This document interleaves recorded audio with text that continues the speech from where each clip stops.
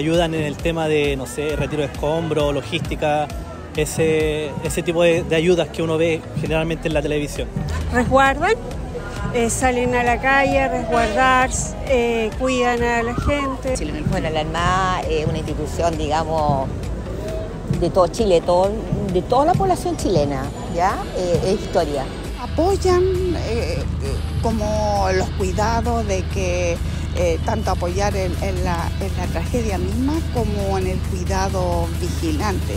Eh, resguardar la soberanía, es como la primera misión, Y, bueno, también aportar en, todo el orden eh, en casos de, emergencia. Cuidar los límites marítimos. Se aventuran hacia el mar. Van a ayudar. Prestan el apoyo en, tanto de fuerza y de las instalaciones que Y cuando son catástrofes naturales, ellos siempre están para prestar servicio a la comunidad. Igual fue un gran aporte, ayudaron a las personas que quedaron sin casa, ayudaron dando alimentación. Eh, para mí son muy importantes. En el marco del área de misión, emergencia nacional y protección civil, cuando los fenómenos naturales u otras causas lo hacen necesario, las fuerzas navales se despliegan gracias a su polivalencia, alta movilidad y grado de alistamiento para dar apoyo a la población ante la ocurrencia de terremotos, tsunamis, incendios, inundaciones o erupciones volcánicas, transportando ayuda a las zonas afectadas, así como personal de apoyo propio y de otras instituciones, contribuyendo con sus capacidades técnicas a enfrentar estas emergencias y brindar alivio a las comunidades afectadas.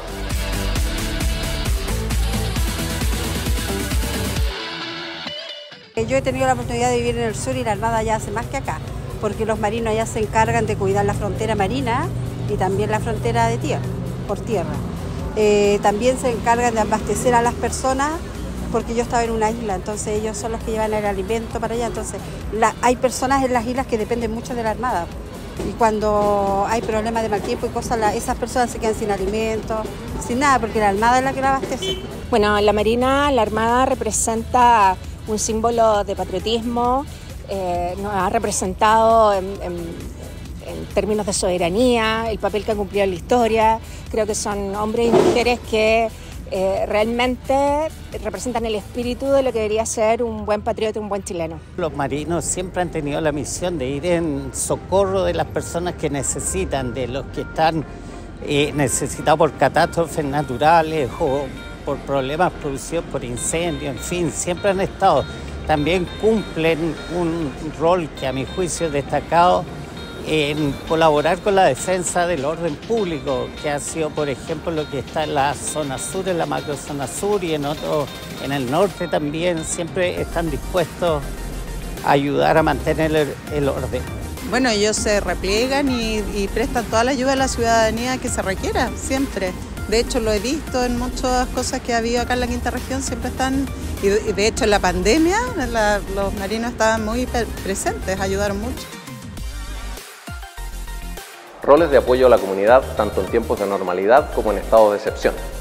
Dentro del área de misión denominada Contribución al Desarrollo y la Acción del Estado, la Armada, a través de las zonas navales y sus medios orgánicos, así como con la participación de unidades del Comando de Operaciones Navales, apoya en forma permanente a la comunidad mediante operativos médicos que se realizan a lo largo de todo el territorio nacional, brindando conectividad a zonas aisladas, apoyo logístico a zonas extremas y territorios insulares y otras muchas actividades de similar naturaleza.